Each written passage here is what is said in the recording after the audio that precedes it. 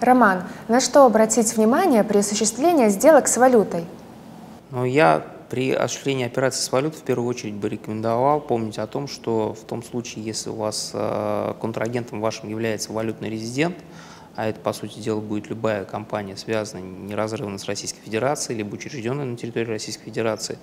то реализовывать свои операции вы имеете право за пределами Российской Федерации только с уполномоченными банками. В противном случае вы можете потерять и денежные средства, и нервы в результате применения к вам норм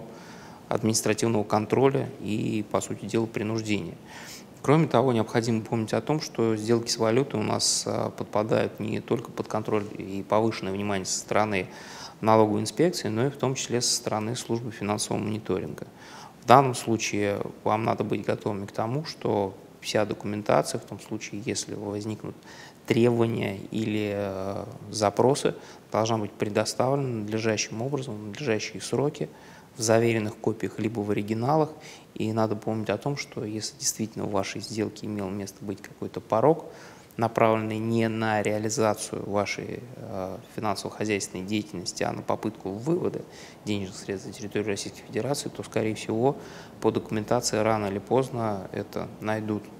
наши контролирующие органы, и дальше уже это все может приобрести лавинообразный характер, несущий большие убытки и потерю времени,